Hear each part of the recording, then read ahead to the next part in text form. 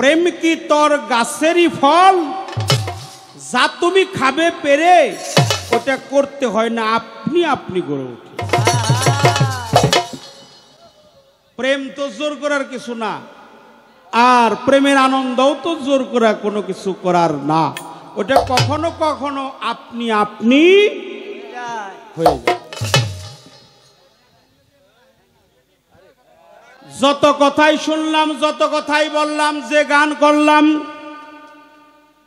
যে গানের পাশাপাশি গান রাখলাম যে কথার পাশাপাশি কথা বলার জন্য চেষ্টা করছি আমি যতটুকু সময় পালা অনুযায়ী দাঁড়িয়েছি বা বসে বসে গান শুনছি এইবার আমার মনে হইল আমার ভক্তের কামে ধরছে। এই গানে বুঝলাম ওনারে কামে ধরছে। ঠিকই আছে। হ্যাঁ কথা ঠিক আছে, ও যে গান গাইছে, ওরা আবু তালেবের লেখাই গান। ভালো। খারাপ না। ভালো? এটাও খারাপ না, তবে আমাকে প্রশ্ন করছে যে যে ফুলে অটল বিহারী বলতে লাগে ভয়, একটি ফুলের মর্ম কথা জানিতে হয়। যে ফুলের দিন দয়ময় এই ফুলটা ফুটে কখন, কোন সময় কোন সময়, কার কাছে গিয়ে এই ফুলটা ফুটে, এটা ধরার কায়দা কৌশলটা কি? এটা প্রশ্ন করছে। আর একটা প্রশ্ন করছে যে এই যে একজন ছেলে হয় একজন মেয়ে হয়। আর একজন কি হয় ওটা আমি? হিজত আলী। হ্যাঁ ওগুলো বলাও ঠিক না। ওটাকে একটা আরবি নাম আছে। এই সব কথা মুখে বলা অপরাধ। যেসব কথা আমরা মুখ দিয়ে মানুষকে সচরাচর বলি এই সব কথা বললে মানুষের নেক কেটে নেয় আল্লাহ। এসব কথা বললে আল্লাহ তার নেক আমল কেটে নেয়। এটাকে আদম জানালা বলা হয়। ছেলে হয় মেয়ে হয় পাশাপাশি ছেলেও না মেয়েও না। ছেলের কিছু অংশ মেয়ের কিছু অংশ। এটাকে আরবিতে আদম জানালা বলা হয়। হয় সুন্দর হয় দলা হয় ল্যাংরা হয় আতুর হয় অন্ধ হয় লুলা হয়। এটা কি আমার দোষ না আল্লাহর দোষ না গুরুর দোষ বলছে কিনা কথা হ্যাঁ বলছে। এ কিন্তু বলছে। হ্যাঁ। তা আমার আল্লাহ আমার রসুল আমি সব কিছু গুরুত্বে লয় হয়ে গেছি আমার বলা যাবে না। তা আপনিও তো আল্লাহর হয়ে গেছেন গা কিন্তু আল্লাহর তো একবারে আল্লাহর সাথে মিশাই গেছেন গা কিন্তু আল্লাহর আমি তো দেখি আল্লাহর মতো আপনারও সব কিছু আছে। ছেলেও আছে মেয়েও আছে স্ত্রীও আছে পুত্র আছে সন্তান আছে সন্ততি আছে আমারও যা আছে আপনারও তা আছে। আপনি যে বলছেন যে আমার বলতে কিছুই নাই আপনার তো সবই আছে। বলছে কি না? বলছে। মাফ করে দিয়েন। ছেলে থাকে এক ঘরে আর মা বাপ থাকে আর এক ঘরে। আচ্ছা আচ্ছা। রাত যখন গভীর হয় উঠন্ত বয়স তো। ওই রাইতে দাও দিয়ে খাট খালি কুবায়। তো কুবাই যে খাট রাত যখন গভীর হয় দুইটা আড়াইটা বাজে যেমন এমন সময়। হ্যাঁ। প্রায় দুইটার উপরে বাজে গেছে। এরকম শব্দ যখন দুনিয়ার আওয়াজটা বন্ধ হয় রাতে ওই শব্দটা। স্পষ্ট কিছু শৈলেও শুনলে ওইটা কানের মধ্যে এসে বাজে। এখন মা কয় ওই ওনে কি কুবাস? কি? শব্দ কিসের? গভীর রাতে এত শব্দ কিসের? কুবাস কি? তখন কয় কি কুবাই? জানো না খাট কুবাই? আরে কয় খাট কুবাস কে? তোরে এত নতুন ভালো খাট আইনে দিলাম। খাট কুবাস কে কই জানো না এত বড় খাটে কি একা শোয়া যায় না হাট মেলা বড়। খাট হইলে বড়? আর এই খাটে আমি একা থাকি। এক পাশে শুয়ে থাকলে আর এক পাশ থাকে। খালি। খালি। একে এত বড় খাটে কি একা ঘুমায় নেই? ছেলের মা ছেলের ডাইকে কয় শুনছেন? ছেলের এত বড় খাটে ঘুম আসে না। ওই জন্য খাটটা কাটতাছে। ওর এক কাম করেন ওর গলায় একটা রশি লাগিয়ে দেন। আরে ওর গলায় গলায় কি দেন? রশি রশি। মাফ করে দিন রশি কার গলায় দেয়? পাড়া। পাঠার গলায় তো রশি দেয়।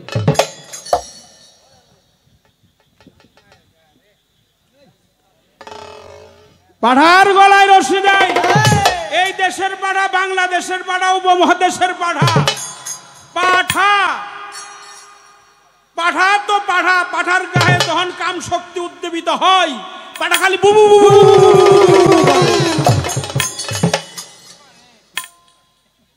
ওর কা ওর গায়ে তো কামের গন্ধ হইছে ওর কামরিপু জাগ্রত হয়ে গেছে ওই জন্য কুবায়া কুবায়া খাট কাটতাছে ও হইল পাঠা পাঠার গলায় দিতে হয় রশি।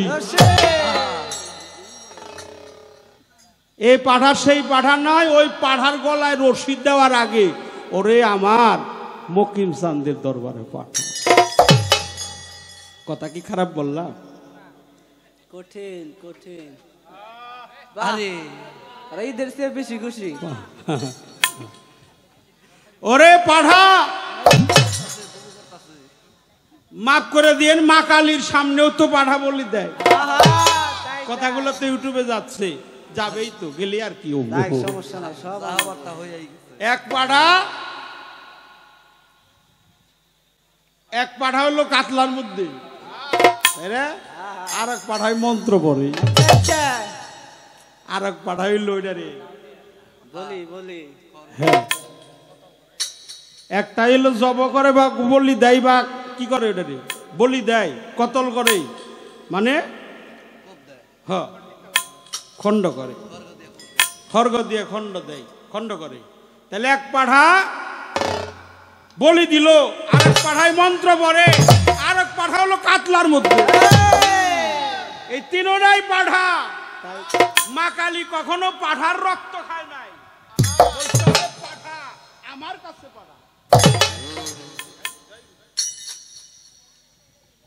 এই জন্য কারও দেহে যৌবন আসার আগে ও যেন আমার মুর্শিদের দরবারে চলে যায়। দেহে যৌবন যার যুদ্ধে যাওয়ার সময় তার। উচিত ছিল উচিত সময় উচিত পথে চলা। উচিত ছিল উচিত সময় উচিত কথাটা বলা। উচিত ছিল উচিত সময় একজন চেতন মানুষ। উচিত ছিল উচিত সময় মরার আগে। মরা। এটা না কইরা খাইছি বুয়া মারা। কথা সত্য। এখন গুরু আমার কি করব? আমার তো দবাই হারা। মানে আমি পাশা মারা খাইয়ে আমার গুরুর দুইশা কি লাভ হইব? এই জন্য বাবা শিক্ষা দীক্ষা নেওয়ার আগে মানে শিক্ষা দীক্ষা বিয়ের আগে বিয়ে আগে কইর না বিয়ে আগে বস। ছেলে আর মেয়ে হয় নিকে আর গুরু ভক্তের সাথে কি হয়? বিয়া। বিয়ে বসা যথাতথা বৈশ্য না কল বেচা মাতা তা না হলে গুনা খাতা ঠিক হবে না কখন?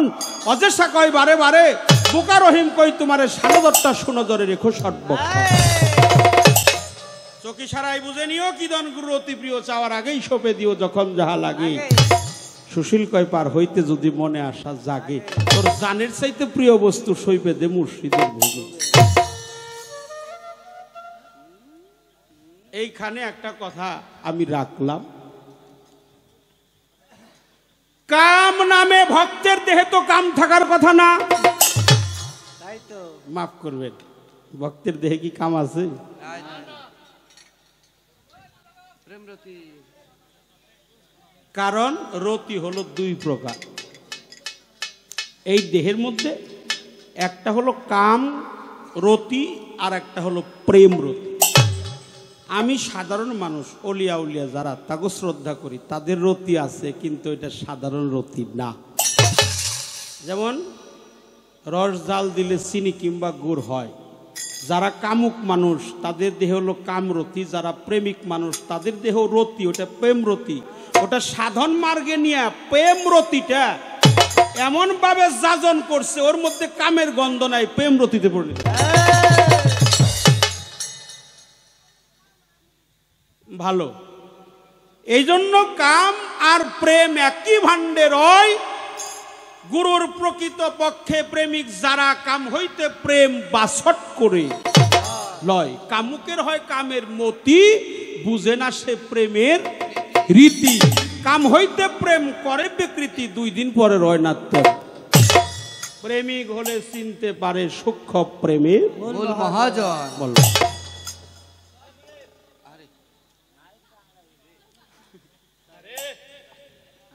অপরাধ নিয়েন না আমারে এই প্রশ্নটা ওই ছেলেটা করছে বাবাজি আমাকে আবু তালে ভালো প্রশ্ন করছে। করেন একটা কথা কয়ে যাই কিছু মনে করেন না।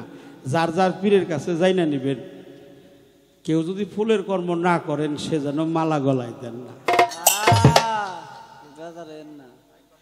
কারণ হইল কিছু কিছু পিসাব বাইরেছে সবারই কিন্তু কই না হ হেরা ফুলের মালা না দিলে বেজার হয়ে যায়। হ্যাঁ থাকেই না বলে আমার থাকার কথা সামনে আমার গলায় ধরেন মালা নাই। এনে রইলামই নেই। মালা দিল মালা দিও তার গলায় যিনি সাধু। এখন তো সাধু নাই সব সায়াধু বুঝলেন? সা আ ধ উ। কি হলো? সা সা আ ধ উ। এ হলো সাধু। সাধের সমুদ্র। আতে আবর্জনা। ধতে পিতৃধর উতালা মানে আমার কাছে। যিনি পিতৃধন রক্ষা করতে পারে, তিনি হলো সাধু। এজন্য সাধু সেজো না, সাধু আমরা যেন সাধু না সাজি, মাফ করে দিবেন। ক্ষমা চেয়ে নিলাম। দিন নক্ষর তো ঠিক রাখিয়া যায় মায়ার বাদন কেটে, যেদিন প্রথম খার ফুল ফুটে। প্রথমে আসে বসি, দশমে পূর্ণমাসী তৃতীয়তে আসে কোলমণ্ডলী, কলকণ্ডলনী ত্রিবেণীর ঘাটে। পঞ্চরসের রসিক আগে সাজ তার নিকটে। তা না হলে যাবি মারা, সেই না ফুলের গন্ধের চোটে। সেই ফলটি মনোমুগ্ধকর উত্তলিতে সাধুর বচন, সাধুর সেজে যায় মন সেই রমণীর বাজারে। অজনী সম্পাবা হয়ে দর শক্তির দ্বারে, লালন বলে সাই সিরাজের চরণের গুণে। এটা মুর্শিদ কৃপা ছাড়া কারও পক্ষে সম্ভব না। এই জন্য সাধু হয়ে এই কর্ম করতে হবে। ফুলটার গাছ হলো কামিনী গাছ। কামিনী মানে নারী। লালন সাইজির অনেক আগের একটা সাধক আছে, তার নাম হলো গোসাই হাওড়ে তিনি বলছে মেয়ে গঙ্গা যমুনা সরস্বতী, মাসে মাসে জোয়ার আসে, ত্রিবেণী সঙ্গতি। এখানে আমার দয়ালে একটা গান আছে, বারো মাসে বারো জোয়ার পরশমণি ভেসে চলে দেখনার কুলে, নদীর দেখনা কুলে বসে। মেয়ে গঙ্গা যমুনা সরস্বতী মাসে মাসে জোয়ার আসে, ত্রিবেণী সঙ্গতি। ফেরত নদী হয় উতালা, সেখানে তিনটা রঙের নীলা খালা। একটা দলা, একটা লাল, একটা দলা, একটা কালা, আর একটা লাল মতি। লাল মতিতে কেউ স্নান করিলে ওর দেহটা হবে গৌরাঙ্গ মেয়ে গঙ্গা যমুনা সরস্বতী। বাহাত্তর হাজার নারী আছে সবার বাড়ি বাড়ি। কয় হাজার নারী? বাহাত্তর। আচ্ছা। বাহাত্তর হাজার নারী আছে সবার বাড়ি বাড়ি। এই দেহের মধ্যে আছে এটা বাড়ি। এইটা হলো বাড়ি। ঘর হলো এইটা। এই জন্য ডক্টর বাবা জাহাঙ্গীর মারফতের নিগুর রহস্যের মধ্যে লিখছে মারফতের নিগুর রহস্যের মধ্যে বলছে যেই ঘরে দয়ালের ছবি নাই সে কোনোদিন গুরু ভক্ত হতে পারে না। কিন্তু ডক্টর বাবা জাহাঙ্গীর বাইমান আল সুরেশ্বরী উনি অত সংক্ষিপ্ত জ্ঞানের অধিকারী ছিলেন না, উনি ছিলেন মহাজ্ঞানী। উনি ঘরকে বুঝাইছে, জগতের ঘর না, ঘর হইল এই দেহ। এই দেহ ঘরে যার গুরুর ছবি নাই, ওর কোনো ভজন সাধন কাজে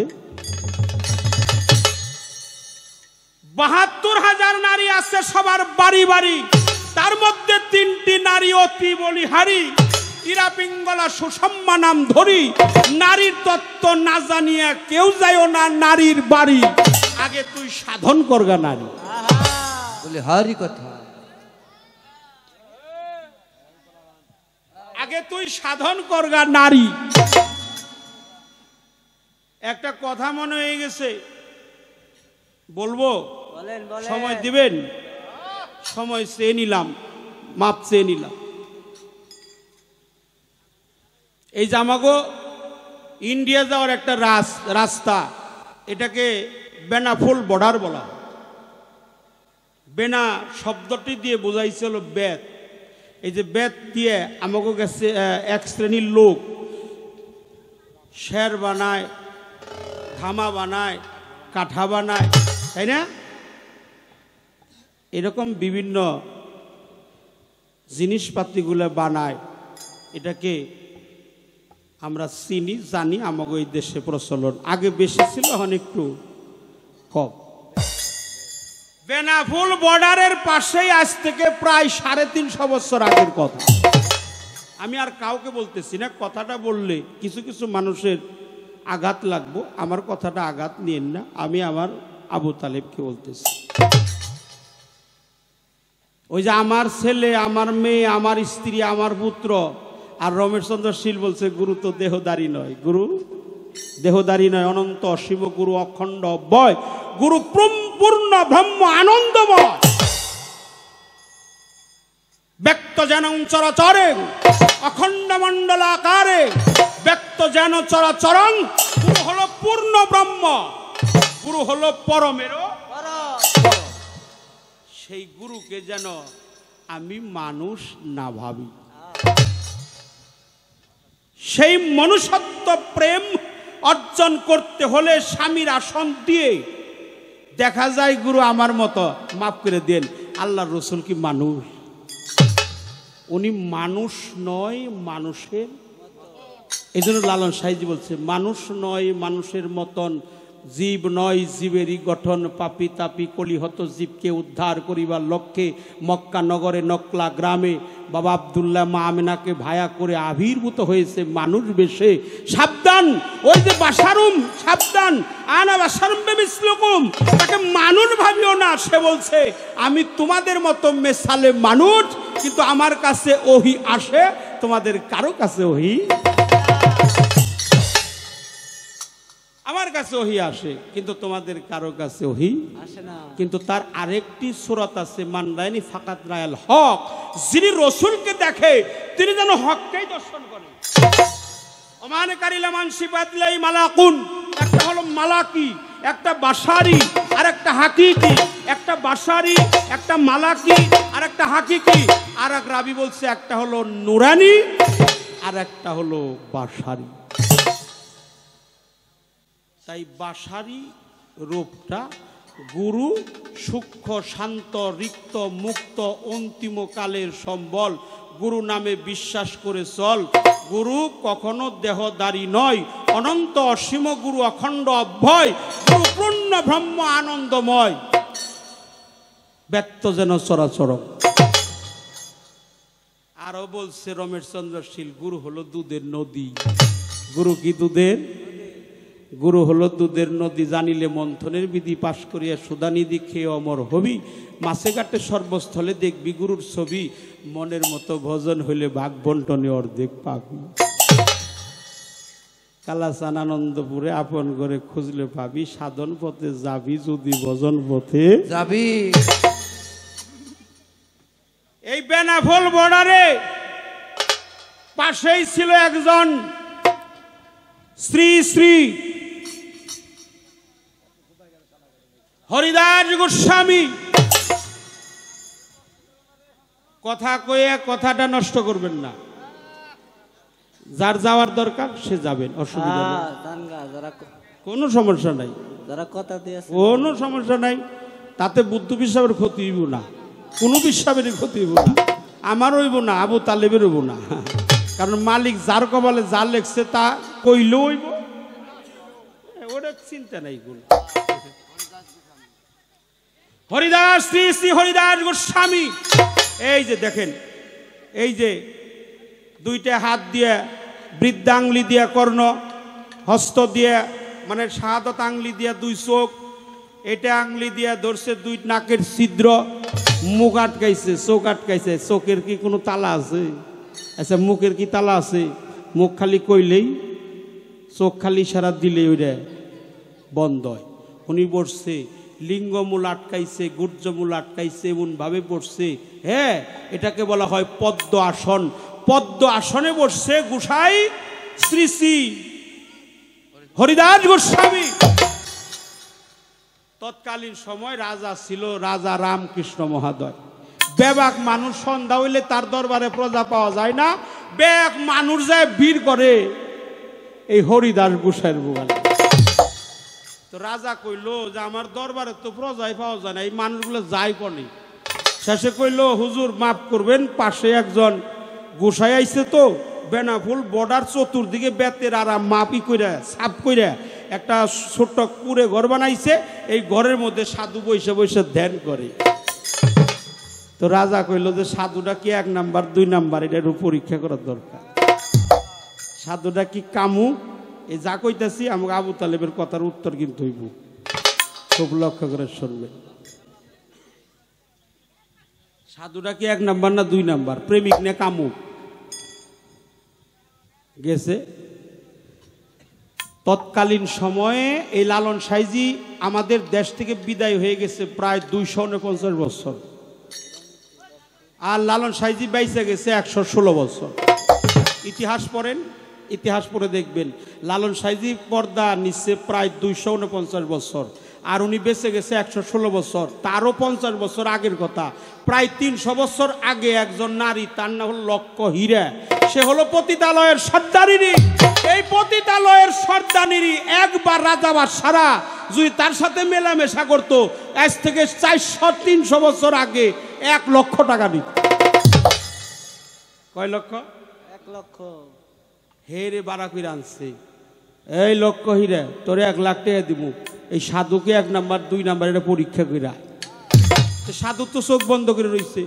হাত জোরাত করে মাথাটা নিচু করে ধ্যানে রইছে বর্জকে রইছে, মুর্শিদের ছবি সে আক্রমণ করে ধরছে, এমনভাবে আক্রমণ করে ধরছে, কিন্তু লক্ষ্য হীরা নটি, সে হলো পতিতালয়ের সর্দারিনী।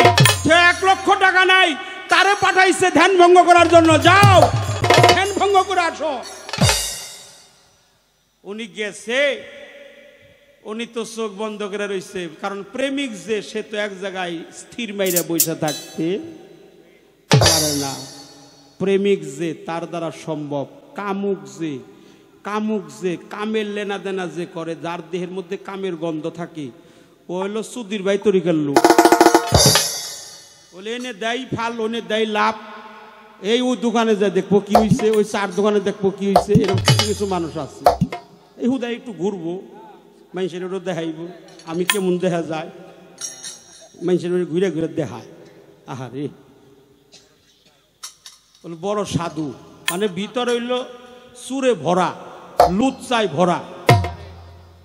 এই জন্য কথাটা বললাম, আমি কিন্তু আপনাদের কথা বলি নাই, এটা আমার কথা বলছি, আমার ব্যক্তিগত কথা। এই কথার সারা রাইতের গান যদি এক পালায় দেয় আমি যে কথাটা এখন তুলছি, এই গানের পালা বাদ দিয়ে, খালি যদি এই কথাটা এক পালায় দেয়, সাত রাত গান গাইলে ওই কথার ওজন কেউ দিতে পারবে চ্যালেঞ্জ করে বললাম আমি যে এইরকম সাধু আমাদের দেশে কয়জন আছে এরকম পীর মাসায় কয়জন আছে এরকম আলেম কয়জন আছে তাহলে আল জামাতের সুন্নি মতবাদী আলেম কয়জন আছে? আমরা পীরের দরবারে যাই বাউল কবিনুর মেহেদি আব্দুর রহমান বলছে জগতে এমন কিছু দেখতে পাই। মুড়িদ হইছে কিন্তু তরিকা বুঝে নাই। মুড়িদ হইছে কিন্তু তরিকা বুঝে নাই। মনে বলে হইছে মুড়িদ গাছের আপদ বেলাই। হাই হাই আমার পীর কম না গো। হ্যাঁ এত বড় পীর আমার। হাই কেমন। তো সুন্দর চেহারা তার। বুদাম ঘর চিনেন? বুদাম ঘরে এত বড় তালা দিয়ে হয় ভিতরে কি থাকে কিছুই নেই। এই দেখেন, সাধু পরীক্ষা করে। লক্ষ হীরা গেছে, লক্ষ হীরা যাওয়ার পরে বলছে, দেখেন, উনি গেছিল কাম নিয়ে মানে ওই সাধু আসল না নকল এটা? পরীক্ষা করবার জন্য গেছে। সাধু কইতাছে, ও মা, ওখানে বসেন। আমি আমার গুরুকে নিয়ে ব্যস্ত আছি তো, আপনার কথাগুলো পরে শুনব। উনি গেছে কাম লীলা দেখিবেন নাকি? আর উনি কি করে ডাক দিছে? অপরাধ নিন না। আপনার স্ত্রীও প্রস্তুত আছে, আপনিও প্রস্তুত আছেন। এমন সময় যদি আপনার মা দরজা এসে ডাকে, আপনার কি কাম ভাব থাকবে? দেহটা ছিল গরম হয়ে গেছে। ঠান্ডা। দেখছেন কেমন যন্ত্র? মায়ের শব্দ ধ্বনি যখন কর্ণমূলে পৌঁছে গেছে, তখন দেহে আর কাম ভাব নাই, ওটা প্রেমের মধ্যে ভরিত মা, আর আমি একটু কাজে ছিলাম তো, যাক, তুমি যখন ডাক দিলা, কি বল, কি করতে হয় বলো, আমি সেটা করব। তাও মানুষ বোঝে না। বুঝে? এই তরিকার ধরে কি লাভ হয়েছে কিচ্ছু বুঝে নাই। ও। খালি নিচের আলাপ আলোচনাই করে। কারণ নাবির হলো নিচে, নিচেই সব কিছু নিচে। নাবির নিচে ওই নিচেই হলো সব কিছু নিচে। সব কিছু নিচে। সব নিচে। নাবির নিচে নিচে সব কিছু নিচে। সব কাইরা নিচে নিচে। আরে গেছে হলো ভাব নষ্ট করবার। বলো মা আপনি কে? ওখানে বসুন তো, আমি তো আমার গুরুকে নিয়ে ব্যস্ত থাকি। আমার গুরু ভাবটা শেষ হয়ে যায়, পরে আপনার কথা শুনব। মা যেই কইছে লক্ষ্য হিরে চলে গেছে গা। রাজা কইছে, খবরটা কি? পরীক্ষায় কি পাসটা কি ফেল বল না, আজকে কিছু করা ভার নাই, কালকে যাব আবার। ওই কাইলো গেছে, আজকে যা কইছে, কাইলো তাই কইছে। দুই দিন গেছে, একই কথা কইছে, তৃতীয় দিন যখন গেছে তখন লক্ষ্যহীরা এত নারী, এত সুন্দরী, তারপরে এমন সেজে গুজে গেছে যে আজকে কোনোভাবেই সাধুর ভাব আমি রাখব না না না, ওটা যেভাবেই ভঙ্গ করব। তখন ওই একই সুর দিছে, ও মা, আপনি একটু বসুন তো, আমার গুরুকে নিয়ে ব্যস্ত আছি তো, আপনার কথাগুলো পরে শুনব। লক্ষ্যহীরা কয়, আজকে থেকে তিন দিন প্রতিদিন আইতেছি। উনি খালি এক কথাই কয়, কে গো, আপনি বসেন। মা, আপনি বসেন। আমি আমার গুরুরূপ দর্শন করতেছি তো, আমার গুরুরূপ দর্শন করা শেষ হলে আপনার কথাটা শুনব। আমার লক্ষ্য হীরা বলতেছে, ওই যে মহিলাটা বলতেছে যে আমার মনে হয় আমার চাইতেও কোনো ভালো রূপ দর্শন করে উনি। আমার চাইতে উনি কোনো ভালো রূপ দর্শন করে। এ দয়াল, আপনি জোর যেই রূপ দর্শন করেন, সেই রূপ কি দেখা যাবে?